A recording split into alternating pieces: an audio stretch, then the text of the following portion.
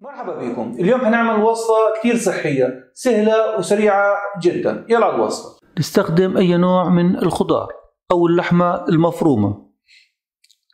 أنا استخدمت الفطر والبقدونس والبصل. أنتوا استخدموا شو بتحبوا. قليل من الزبدة مع التحريك حتى تزبل وتجف السوائل. قليل من الملح والفلفل الأسود. وبنحرك. نوضعها جانبا نعمل العجنة. ممكن استخدام اللوز أو الفول السوداني أو البذور. طحن وغربلة الفول السوداني جيد. ممكن نوضع بذور عباد الشمس. المنخل يكون الثقب تبعه كبير. ممكن استخدام اللوز أو الفول السوداني أو البذور المهم يكون واحد كوب 75 جرام. سأوضع جميع المكونات على الشاشة إذا كنتم بحاجة إلى التقاط صورة للمكونات. هيك أصبح كوب. اثنين بيض. وبنحرك.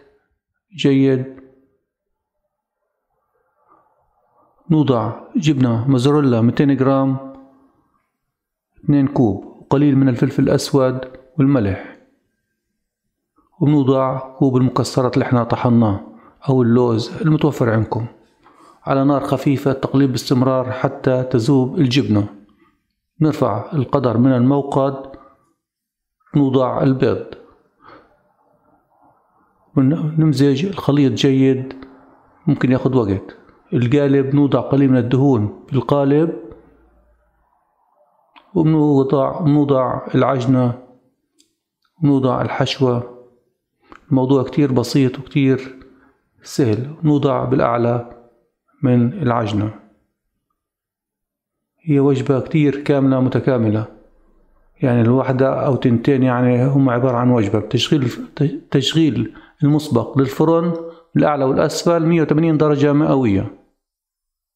في الرف الأوسط يجب مراقبتها حسب نوع الفرن. تقريبا تأخذ 20 دقيقة يختلف من فرن لآخر. هذه هي المكونات. نتركها حتى تبرد تماما.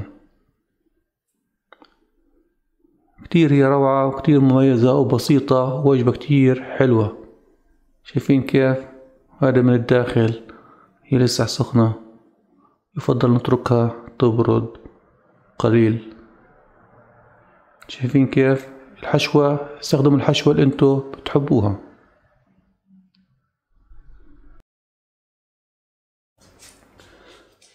وصفة كتير سهلة وكتير بسيطة. انتظرونا بوصفات كتير جديدة. الناس الموجودة عندي على الصفحة على الفيسبوك أتمنى أشتركوا بقناة اليوتيوب اسم القناة شيف نائل. من شان يوصلكم كل جديد.